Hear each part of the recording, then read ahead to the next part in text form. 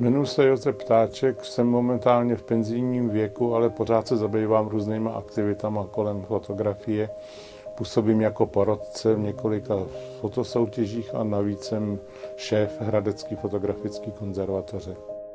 Tak já fotografii celoživotně považuji za způsob komunikace s lidma, takže fotografie je to, co je určitým způsobem váš obraz a to, jak ho lidi přijímají, to už je jejich problém. A ta komunikační rovina, ta se prostě vždycky mění podle toho, kdo a jak ty fotografie umí nazírat.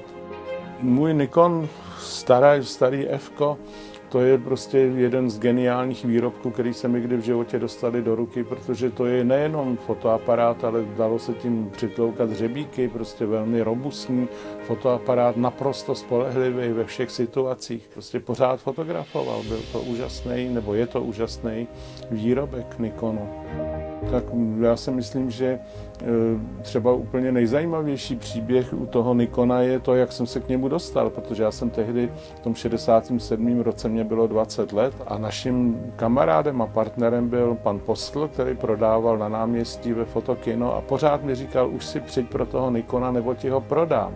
No a pak se stalo to, že v sousední vsi zemřel farář a nastupoval nový a náš farář z naší vsi mě požádal, abych vyfotografoval tuto dvojici v kostele, starý farář v rakvi, nový farář nad ním.